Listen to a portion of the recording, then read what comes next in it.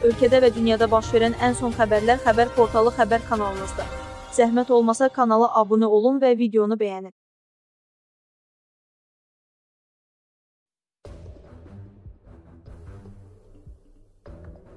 Ermənistanın baş naziri Nikol Paşinyan təcili təhlükəsizlik şurasının fövqəladə iclasına çağırıb. Konkret Az Telegram kanallarına istinadən xəbər verir ki, baş nazir iclasda Azərbaycan Silahlı Qüvvələrinin Zəngəzurda sərhədi keçdiyini, 3,5 kilometr içərilərə doğru irəlilədiyini söyləyib. Daha sonra Paşinyan Azərbaycan ordusunun Qaragölə nəzarəti ələ keçirdiyini deyib.